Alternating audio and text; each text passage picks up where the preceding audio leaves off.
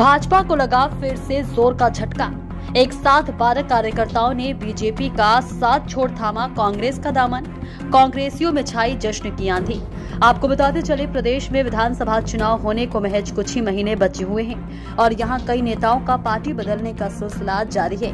बीते कुछ हफ्तों पहले आपने गौर किया होगा कि लगातार विधानसभा चुनाव से पहले पार्टी में नेताओं, कार्यकर्ताओं का एक दूसरे में जाना लगातार इसका सिलसिला जारी है। कांग्रेस से कार्यकर्ता नेता भाजपा में शामिल हो रहे हैं तो वही भाजपा से नेता और विधायक, कार्यकर्ता कांग्रेस में शामिल हो रहे हैं, लेकिन इसमें भाजपा से गए हुए विधायक कार्यकर्ता और नेताओं की संख्या ज़्यादा है। लेकिन इस बीच आपको बताते चले कि बीजापुर में भाजपा को बड़ा झटका लगा है।